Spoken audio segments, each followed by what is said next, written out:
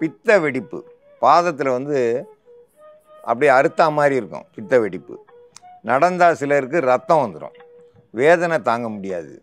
அது வந்து சேலையெல்லாம் அதில் போய் சிக்கிக்கிறோம். சிலர் மாட்டிட்டு இழுக்கும்போது அது வந்து ரத்தம் வந்துடும் சிலர் வந்து நடக்கும்போது அது ரத்தம் பீறிட்டு வரும். அதனால் நடக்கும்போது ஆடிக்கிட்டே நடப்பாங்க. நடக்க முடியாது. வேதனை அதிகமாகும். ஏன்னா அதிக அளவு டீ குடிக்கிறவங்க சாப்பாடே சாப்பிடாம வெறும் டீயாக குடிக்கிறவங்க சிலர் வந்து நேரத்துக்கு சாப்பிடாம இருக்கிறவங்க அதிக புளிச்சோறு சாப்பிட்றவங்க இவங்களுக்கெல்லாம் இந்த பித்த வெடிப்பு வரும். அதில் முக்கியமான மருந்து விராலி இலை.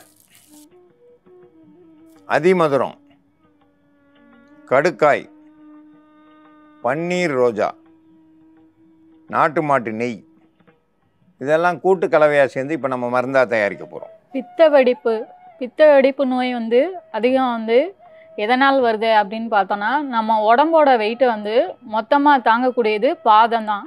பாதத்தில் வந்து அதிகப்படியான வெப்பம் வந்து வெளியேறும். நம்ம உடம்ப வந்து மொத்த வெயிட்டையும் தாங்கிறது பாதம் தான். பாதத்தில் வந்து ஏன் பித்த வெடிப்பு வருது அப்படின்னு பார்த்தோன்னா அதிகமாக வந்து வேலை செய்கிறது அப்படின்னு பார்த்தோன்னா சேற்றில் வேலை செய்வாங்க. அதே போல் நீரில் வேலை செய்வாங்க. இவங்களுக்கெல்லாம் வந்து பார்த்தோன்னா கால் பகுதி பாதத்தில் வந்து தோல்லையே வந்து மேலே வந்து ஒரு தோல் வந்து உருவாகிற மாதிரி முழுமையாக பார்த்தோன்னா வந்து நல்ல வெண்மை நிறத்தில் வந்து அவங்களுக்கு வந்து படிய ஆரம்பிக்கும். இதே இது வறண்ட நிலப்பகுதியில் வந்து அதிகமாக வந்து வெயிலில் வேலை செய்கிறாங்க அப்படின்னு பார்த்தோன்னா அவங்களுக்கு வந்து பார்த்தோம் அப்படின்னு பார்த்தோன்னா உள்பகுதியும் சரி பாதங்கள்லையும் சரி அதிக கோடு கோடாக கீறுனது மாதிரி இருக்கும். குதிங்கால் பகுதியில் வந்து பின்னாடி பகுதி வந்து நம்ம வந்து பிளேடோ இல்லை கத்தியோ வச்சு கீரனை மாதிரி பாலம் பாலமாக வந்து விண்டு போயிருக்கும். இப்போ ரெண்டு விரல் இருக்குன்னா இது ரெண்டு கடையில் எவ்வளோ கேப் இருக்கும் அந்த மாதிரி வந்து அவங்க காலில் வந்து விரிஞ்சு விரிஞ்சு இயற்கையாகவே வந்து இருக்கும். அது எதனால் அப்படின்னு ந- நம்ம வந்து பார்த்தோன்னா உடம்புல வந்து நீர்த்துவ தன்மை வந்து குறைஞ்சிருக்கும்.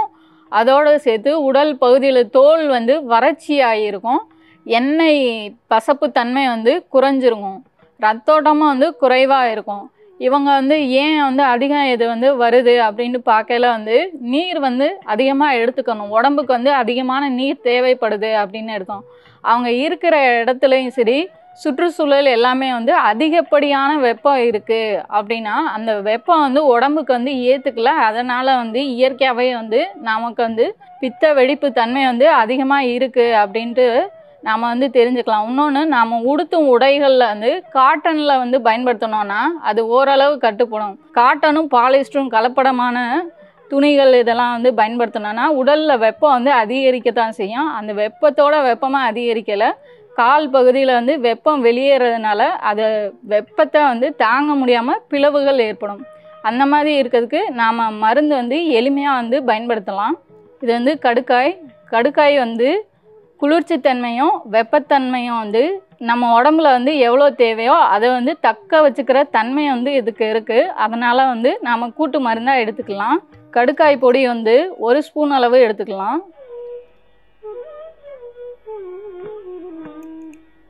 இதோட கூட்டு மருந்தாக வந்து அதி மதுரம் வந்து எடுத்துக்கலாம். மதுரம் அப்படின்னா வந்து இனிப்புத்தன்மை உடையது அப்படின்னு அர்த்தம். இந்த வேரில் வந்து அதிக இனிப்புத்தன்மை உடையது அப்படின்றனால தான் இதுக்கு பேர் வந்து அதிமதுரம் அப்படின்ட்டு எல்லாரும் வந்து சொல்லுவாங்க. இதோட பேர் வந்து அதிமதுரம் அப்படின்ட்டு தான் வந்து அர்த்தம். அதிக இனிப்புத்தன்மை உடையனால அதிமதுரம் அப்படின்னுவோம். இது வந்து பொடிச்சு வச்சுருக்கோம். பொடிச்சு வச்சதில் இது வந்து ஒரு ஸ்பூன் அளவு நாம் எடுத்துக்கலாம்.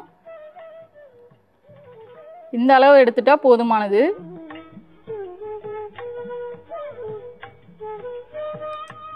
பன்னீர் ரோஜா பூ. இதில் வந்து ஒரு பூ வந்து நாம் எடுத்துக்கிட்டால் போதுமானது.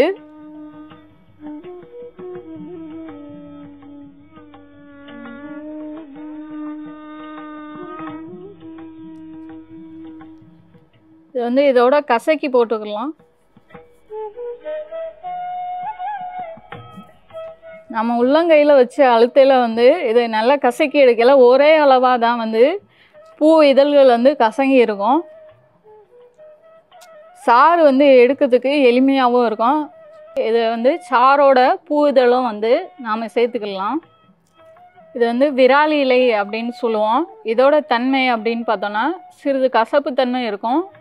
பச்சையாக இருக்கையில் வந்து கொஞ்சம் நீர்த்துவ தன்மை வந்து அதிகமாக இருக்கும். காஞ்சிருச்சு அப்படின்னா நம்ம இதை பார்க்கையில் வந்து ஒரு பேப்பர் மாதிரி தான் வந்து இருக்கும். கசக்குனாலும் வந்து சீக்கிரம் கசங்கிடும். இது வந்து நாம் அரைச்சி விழுதாக வந்து வச்சுருக்கோம். அது வந்து ஒரு ஸ்பூன் அளவு இதோட கூட்டு மருந்தாக எடுத்துக்கலாம். பொடியாக இருந்துச்சு அப்படின்னா வந்து நாம் வந்து பவுடராகவே வந்து இதோட சேர்த்துக்கலாம். நாம் வந்து இதை பச்சையாக எடுக்கிறதுனால இந்த அளவு எடுத்துட்டாலே போதுமானது. இது வந்து நாட்டு மாட்டு நெய். நாட்டு மாட்டு நெய் வந்து அரை ஸ்பூன் அளவு இதில் வந்து கூட்டு மருந்தாக நாம் எடுத்துக்கலாம்.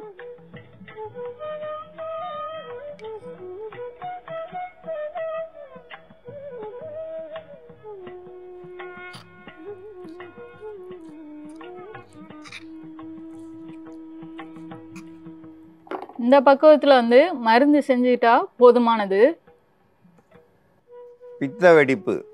பித்த வெடிப்பு வந்துச்சுனாலே பாதத்தில் வந்து வலி அதிகமாக இருக்கும் நிற்க நிற்க வந்து அந்த ரத்தம் வந்து பீரிட்டு வரும். இந்த அதிக அளவு நம்ம உணவில் வந்து உப்பு சேர்றதால வர்றது. உணவில் சேர்ற உப்பு வந்து நம்ம சாப்பிட்ட உப்பு கிடையாது. இந்த விவசாயிகள் போட்ட யூரியா டிஏபி பொட்டாசு இந்த மாதிரி இருக்கிற அந்த ரசாயன உரங்கள் அதிகம் வந்து உணவில் சேர்ந்ததால் பாத வெடிப்பு வந்து ரொம்ப வேகமாக வெடிக்கும். இதை எடுத்து அந்த பாதத்தில் அந்த விரிவுகளில் இப்படி இருக்கிற விரிவுகளில் விரிவில் பூரா தடவிட்டிங்கன்னா முழுமையாக தடவி இரவில் விட்டுட்டு தூங்கி எழுந்திரிச்சு காலையில் குளிர்ந்த நீரில் அதை கழுவிட்டு வந்தோம்னா குறைஞ்சது ஒரு வாரத்துக்குள்ளே அந்த பித்த வெடிப்புகள் மாறும். பித்த வெடிப்பு மாறுறதுக்கு இது ஒரு சிறந்த மருந்து. இந்த மருந்தை பயன்படுத்தி பயன்பெற வேண்டும் என்று கேட்டுக்கொள்கிறேன்.